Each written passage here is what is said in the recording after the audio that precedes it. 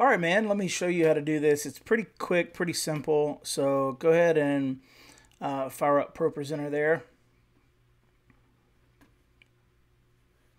Okay, so you're to go ahead and create a new presentation. Um, and then what we're to do is we're to go to View, Cue Palette, and here's your live video module right there. So we're to go ahead and drop that in.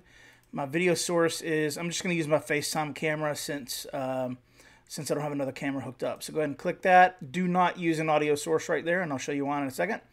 Click Done, clear that. I'm going to go over to Preferences, and I'm going to make sure that Syphon down here is enabled. So that's Preferences, Display, Enable Syphon.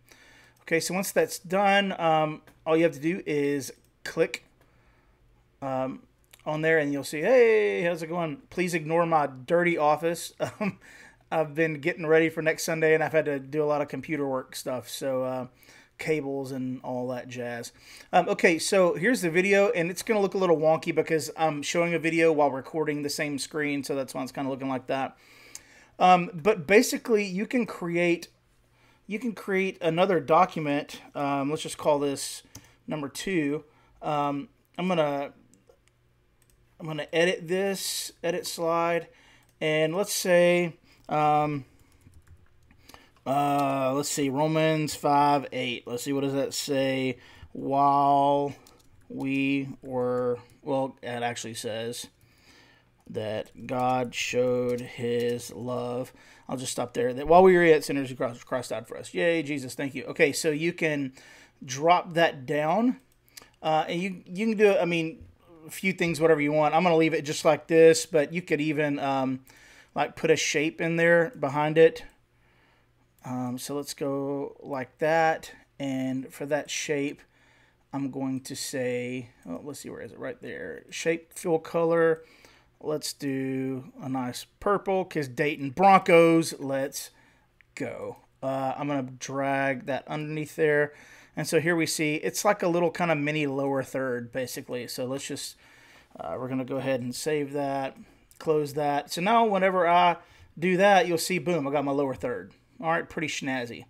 Uh, and so you would need to um, essentially create a new thing there to get that lower third off there, just a blank screen. Okay, so now we have the video going.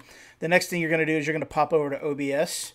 And so you're going to click on the plus here. You're going to add Syphon Client right there. All right, so click OK. And essentially what you want is you want your ProPresenter output. So whatever ProPresenter outputs, that's the one you want. So uh, you see there it is. I'm going to click OK.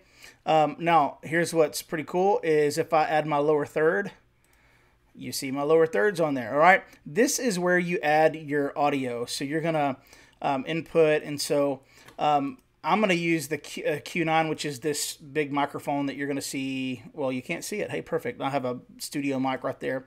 And so I'm going to select that one. Um, but you could input whatever you want. Um, however you get your audio into your computer, that's the one you would input, okay? Um, so again, you can go back out here and turn that off, and you will see an OBS that's off. Um, you can go out here and um, let's say we're going to play this video right here. You'll see it's playing. I mean, it's beautiful. And then you can stream right here out of OBS.